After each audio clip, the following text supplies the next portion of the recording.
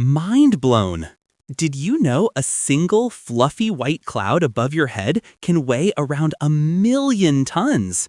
Yes, you heard that right. One million tons. That's like 100 adult elephants or roughly 2,500 average sized cars. But how can something so ethereal and light, made of water vapor, possibly be that heavy? A cloud isn't just vapor, it's billions upon billions of tiny water droplets or ice crystals. While each droplet is incredibly light and stays suspended, their sheer number adds up dramatically. A typical cumulus cloud, often a kilometer in diameter, packs an immense volume of these microscopic particles.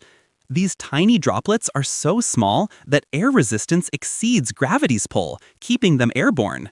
Powerful updrafts of warm air from the ground also constantly push them upwards, creating a dynamic balance that keeps the massive cloud suspended. It's a perpetual giant juggling act in the sky. So next time you look up, remember that seemingly light cloud is actually a colossal, weighty mass defying gravity right before your eyes. Nature truly is astonishing.